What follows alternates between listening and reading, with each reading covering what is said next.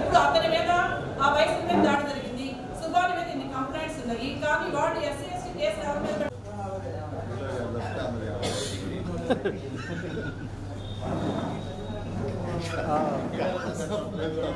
ఇది మనం పోయినాక తర్వాత ఆరుగురు వెళ్ళారు అంటారు. మళ్ళీ చేస్తాడు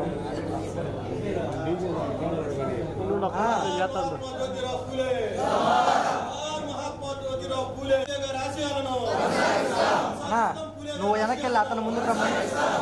నువ్వు వెనక్కి వెళ్ళి అతను ముందుకు రమ్మని. Light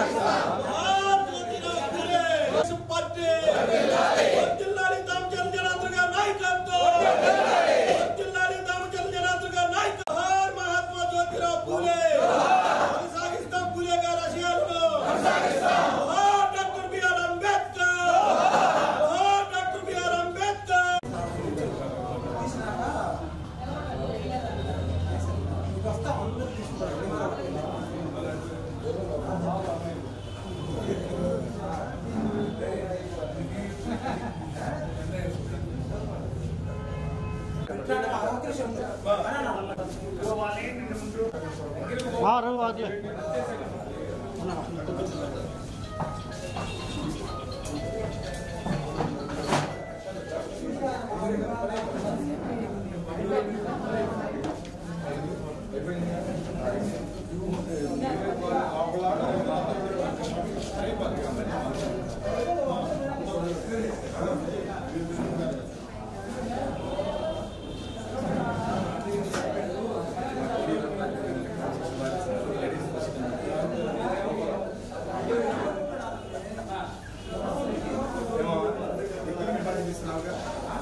Ele falou assim, ela vai.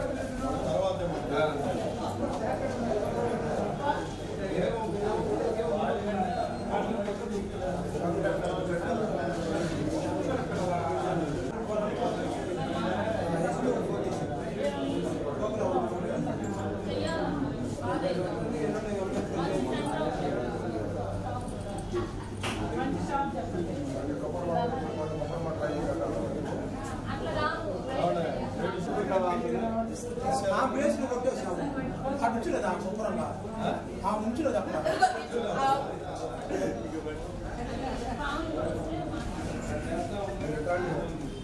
జోహార్ మా జ్యోతిరావు పూలే జోహార్ మహాత్మా జ్యోతిరావు పూలే జోహార్ జోహార్ మహాత్మా జ్యోతిరావు పూలే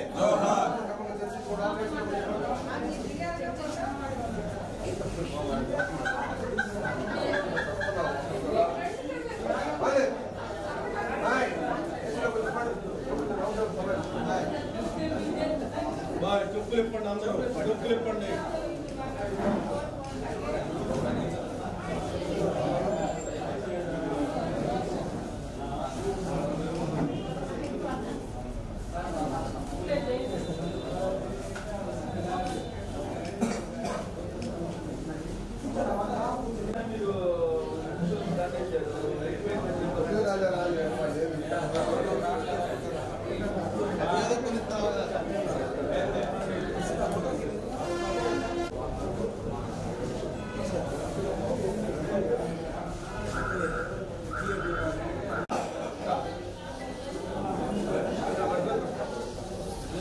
ಮೇಲ್ಗಡೆ ಹತ್ರ ಒಳ್ಳೆ ಅವನಾಲು ಒಬ್ಬೊಬ್ಬರು ಬಿಡ್ತಾರೆ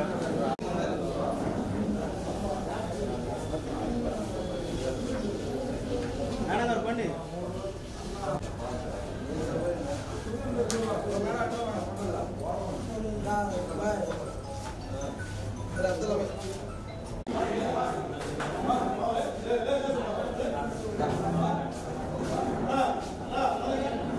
ನೋಡಿ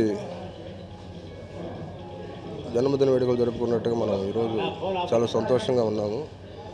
జ్యోతిరావు బాబా పూలేని ఆ రోజుల్లో మహాప్రమాదకరమైన రోజుల్లో ఈ అనగారిన వర్గాలు ఎక్కడ కనపడినా ఎక్కడ చూసినా అసహించుకుంటూ ఊరు చివరకు పంపించే మార్గాల్లో ఉన్నారు ఆ రోజుల్లో. ముఖ్యంగా మన ఉమ్ము వాళ్ళు తొక్కకూడదు మనం నడిచిన బాటలో వాళ్ళు నడవకూడదు అనే కాన్సెప్ట్లో ఆ రోజుల్లో పట్వారీ సంస్థలు వాళ్ళు అలా చేశారు. ఆ క్రమంలో మనకి నోటికి ముంత మా వెనక నడుముకి తాటాకు. మన ఉమ్ము మనం ఆ ముంతలో పూసుకోవాలి.